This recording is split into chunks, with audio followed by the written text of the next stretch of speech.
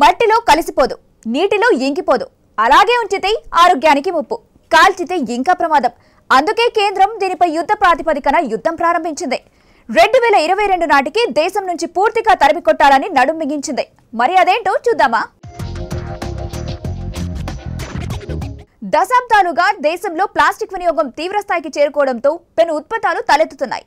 ఏ ఏటికా ఏడు వీటిని నిషేధిస్తున్నామంటూ ప్రభుత్వాలు ప్రకటించడం ఇదంతా మామూలే అన్నట్టు ప్రజలు వినియోగించడం వెరసి ప్రజారోగ్యానికే ప్రతిబంధకంగా మారుతున్నాయి. మూగజీవుల ప్రాణాలకు ముప్పు పొంచి ఉంటుంది. దేశంలో వచ్చే ఏడాది జూలై ఒకటి నుంచి సింగిల్ యూజ్ ప్లాస్టిక్ వస్తువులపై నిషేధం విధించాలని కేంద్ర ప్రభుత్వం నిర్ణయం తీసుకుంది. పర్యావరణ పరిరక్షణ దిశలో కేంద్ర ప్రభుత్వం ఈ మేరకు ప్లాస్టిక్ వేస్ట్ మేనేజ్మెంట్ సవరించిన నిబంధనలు రెండు వేల ఇరవై ఒకటి వెలువరించింది. దీని ప్రకారం దేశంలో నిర్ణీత సింగిల్ యూజ్ అంటే ఒక్కసారి వాడి పారేసే ప్లాస్టిక్ వస్తువులు తయారీ లేదా దిగుమతి లేదా వాటి నిల్వ వంటి వంటి వాటిపై నిషేధం విధించనున్నారు. తాజాగా కేంద్ర పర్యావరణ మంత్రిత్వ శాఖ వెలువరించిన నోటిఫికేషన్ ప్రకారం వచ్చే ఏడాది మధ్య నుంచి స్ట్రాలు ప్లేట్లు కప్పులు పాత్రలు వంటివి నిషేధంలోకి వస్తాయి. ప్లాస్టిక్ ఉత్పత్తుల వాడకం ప్రత్యేకించి ఒక్కసారి వాడిపారేసే వస్తువులతో తలెత్తే పర్యావరణ ముప్పు గురించి నిపుణులు హెచ్చరికలను పరిగణలోకి తీసుకున్నారు. దశల వారీగా దేశంలో ప్లాస్టిక్పై వేటును ఇప్పటి నుంచే ఆరంభించనున్నారు. సెప్టెంబర్ ముప్పై రెండు వేల ఇరవై ఒకటి నుంచి ప్లాస్టిక్ క్యారీ బ్యాగ్ల తడసరి మందం యాభై మైక్రాన్ల నుంచి డెబ్బై ఐదు మైక్రాన్లకు పెంచుతున్నారు. ఇక ఈ స్థాయిని డిసెంబర్ ముప్పై ఒకటి రెండు వేల ఇరవై రెండు నుంచి నూట ఇరవై మైక్రాన్లను పెంచాలని నిర్ణయించారు. ప్లాస్టిక్ క్యారీ బ్యాగ్ల మందం పెరిగిన కారణంగా వాటిని తిరిగి ఉపయోగించుకునేందుకు అనుమతించనున్నారు. ఇక ప్లాస్టిక్ క్యారీ బ్యాగులు ఇకపై చదరపు మీటరుకు అరవై గ్రాముల కన్నా తక్కువ ఉండరాదు.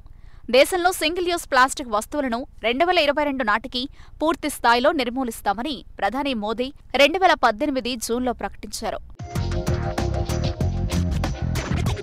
ప్లాస్టిక్ పుల్లలతో ఉండే ఇయర్బడ్స్ బెలూన్లకు వాడే ప్లాస్టిక్ పుల్లలు ప్లాస్టిక్ జెండాలు స్ట్రాలు ఐస్ క్రీం పుల్లలు అలంకరణలకు వాడే థర్మోకోల్ ప్లాస్టిక్ చెంచాలు స్పూన్లు కత్తులు ట్రేలు స్వీట్ బాక్సుల ప్యాకింగ్కు వాడేవి ప్లాస్టిక్ ఇన్విటేషన్ కార్డులు సిగరెట్ ప్యాకెట్లు ప్లాస్టిక్ లేదా వంద మైక్రాన్లకు తక్కువగా ఉండే పీవీసీ బ్యానర్లు వంటి వాటిని నిషేధించారు. అయితే ఈ నిబంధనలు కంపోస్టబుల్ ప్లాస్టిక్ వస్తువులకు వర్తించదు. రాష్ట్రాలు చీఫ్ సెక్రటరీ స్థాయిలో ప్రత్యేక టాస్క్ ఫోర్స్ ఏర్పాటు చేసి నిబంధనలను పగడబందీగా అమలు చేయాలని కోరింది. దేశంలో ఏటా ఉత్పత్తవుతున్న ఆరు కోట్ల ఇరవై లక్షల టన్నుల ప్లాస్టిక్ చెత్తలో శుద్ధీకరణకు నోచుకుంటున్నది ఇరవై రెండు నుంచి ఇరవై ఎనిమిది శాతమే. వ్యర్థాల్లో ఎక్కువ భాగాన్ని ఎక్కడ పడితే అక్కడ కుప్పలు పోస్తున్నారు. వాటిని ఆహారంగా తీసుకుంటున్న మూగ జీవాలు ప్రాణాలు కోల్పోతున్నాయి. దేశవ్యాప్తంగా రోజు కొన్ని వేల టన్నుల ప్లాస్టిక్ వ్యర్థాలు పోగుపడుతుండగా అందులో నలభై శాతాన్ని సేకరిస్తున్నారు. వీధుల్లో వ్యర్థాలు పేరుకుపోతున్న నగరాల జాబితాలో ఢిల్లీ చెన్నై కోల్కతా ముంబై బెంగళూరు అహ్మదాబాద్ హైదరాబాద్ సూరత్ ముందున్నట్లు కేంద్ర కాలుష్య నియంత్రణ మండలి చెబుతోంది భారత్లో ప్లాస్టిక్ వ్యర్థాల నిర్వహణ సరిగ్గా లేకపోయినా కొన్ని రాష్ట్రాల్లో ఈ సమస్యకు కొంతమేర పరిష్కారం లభిస్తుండడం కొసమెరుపు. త్రిపుర రాజధాని అగర్తాలోని బీకే రోడ్డులో ఉన్న మహిళా కళాశాల ప్రాంగణంలో నిర్మించిన ఈ రోడ్డు రాష్ట్రంలోనే మొట్టమొదటి ప్లాస్టిక్ రోడ్డు. ప్లాస్టిక్ వ్యర్థాలతో నిర్మించిన ఈ రోడ్డు నిర్మాణానికి డెబ్బై లక్షల రూపాయలు ఖర్చయింది. బెంగళూరులోని ప్లాస్టిక్తో రోడ్ల నిర్మాణం సాగుతోంది. రెండు వేల రెండు నుంచి కేకే ప్లాస్టిక్ వెస్ట్ మేనేజ్మెంట్ సంస్థ నగరంలో సుమారు రెండు వేల కిలోమీటర్లకు పైగా రోడ్లను వేసింది. ఇందుకోసం పదివేల టన్నుల ప్లాస్టిక్ను వినియోగించింది. అదే బాటలో కేంద్ర ప్రభుత్వం పనికిరాని ప్లాస్టిక్తో లక్ష కిలోమీటర్ల రోడ్ల నిర్మాణాన్ని చేపట్టింది. తద్వారా వందల కోట్ల రూపాయలను ఆదా చేసింది. రీసైక్లింగ్ చేయడానికి కుదరని ప్లాస్టిక్ను ఈ రోడ్ల నిర్మాణంలో ఉపయోగిస్తున్నారు. సాధారణంగా ఒక కిలోమీటర్ రహదారిని వేయడానికి పది టన్నుల తారు అవసరమవుతుంది. ఈ పది టన్నుల తారు స్థానంలో తొమ్మిది టన్నుల తారు ఒక టన్ను ప్లాస్టిక్ వ్యర్థాలను వాడుతున్నారు. ఒక టన్ను తారుకు ముప్పై వేల రూపాయలు ఈ లెక్కన కిలోమీటర్కు ఒక టన్ను ప్లాస్టిక్ వ్యర్థాలను వినియోగించడం వల్ల లక్ష కిలోమీటర్లకు వందల కోట్ల రూపాయలు ఆదా అవుతున్నాయన్నమాట. దేశంలో రోజు ఇరవై ఐదు వేల తొమ్మిది వందల నలభై టన్నుల ప్లాస్టిక్ వ్యర్థాలు పోగవుతున్నాయి. ఇందులో అరవై శాతానికి పైగా రీసైక్లింగ్ అవుతోంది. నలభై శాతం ప్లాస్టిక్ మూలంగా వాతావరణ కాలుష్యం ఏర్పడుతోంది. వందల ఏళ్ళ వరకు భూమిలో కలిసిపోకుండా ఉంటోంది. దీని కారణంగా భూమిపై సముద్రాల్లో ప్లాస్టిక్ వ్యర్థాలు పెద్ద ఎత్తున పేరుకుపోతున్నాయి. గురుగ్రామ్ మున్సిపల్ కార్పొరేషన్ దేశంలో తొలిసారిగా రోడ్ల నిర్మాణంలో ప్లాస్టిక్ వ్యర్థాలను వాడడం మొదలుపెట్టింది. జమ్మూ కాశ్మీర్ జాతీయ రహదారిలో రెండు వందల డెబ్బై కిలోమీటర్ల దూరానికి ప్లాస్టిక్ వ్యర్థాలను కలిపి రోడ్డు వేశారు. ఢిల్లీ మీరట్ ఇంటర్నేషనల్ హైవే నిర్మాణంలో ఒకటి పాయింట్ ఆరు టన్నుల ప్లాస్టిక్ వ్యర్థాలను వాడారు. ప్లాస్టిక్ రోడ్లలో సాధారణంగా ఆరు నుంచి ఎనిమిది శాతం ప్లాస్టిక్ తొంభై రెండు నుంచి తొంభై నాలుగు శాతం తారు ఉంటాయి. త్రిపురలో ప్లాస్టిక్ వ్యర్థాలను సేకరించి రీసైక్లింగ్ చేయడం ద్వారా ఆరు వందల ఎనభై మీటర్ల రోడ్డును నిర్మించారు. ఐక్యరాజ్య సమితి పర్యావరణ కార్యక్రమం యుఎన్ఈపి ఇటీవల ఓ నివేదిక విడుదల చేసింది. ప్రపంచవ్యాప్తంగా దేశాలు ప్లాస్టిక్ వినియోగాన్ని తగ్గించాలన్న లక్ష్యానికి అనుగుణంగా కార్యాచరణ రూపొందించడం లేదని అసంతృప్తి వ్యక్తం చేసింది. రెండు వేల పద్దెనిమిదిలో ఎలెన్ మాకార్థర్ ఫౌండేషన్తో కలిసి పర్యావరణ నిపుణుల నేతృత్వంలో ప్లాస్టిక్ వినియోగాన్ని పూర్తి స్థాయిలో తగ్గించాలని ప్రణాళికలు రూపొందించింది. దీని ప్రకారం రెండు వేల పంతొమ్మిదిలో జరిగిన ఐరాస ఎన్విరాన్మెంటల్ అసెంబ్లీ ఓ తీర్మానం వెలువరించింది.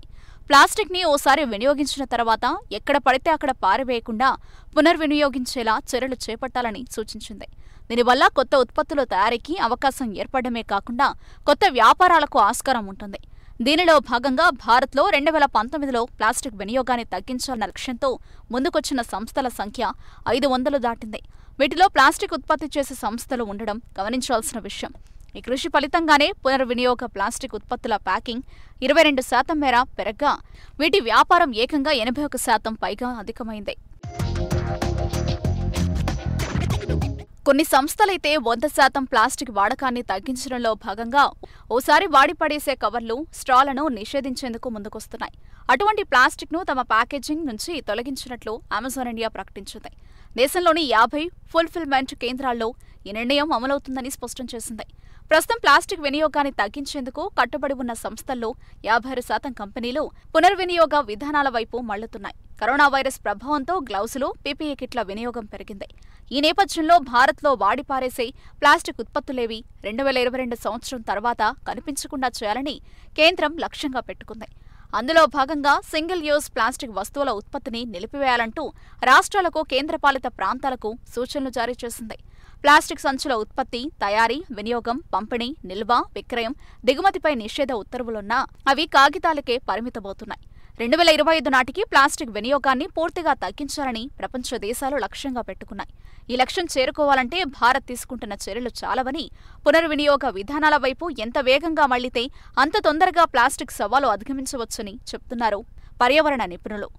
మరోవైపు కేంద్ర ప్రభుత్వం సైతం ఆ దిశగా అడుగులు వేస్తుండటంతో అతి త్వరలోనే భారత్ ప్లాస్టిక్ రహితంగా మారే అవకాశం ఉందని నిపుణులు అభిప్రాయపడుతున్నారు. భూగోళాన్ని కబలించే ప్లాస్టిక్ పై భారత సర్కార్ తనదైన రీతిలో యుద్ధం ఆరంభించింది.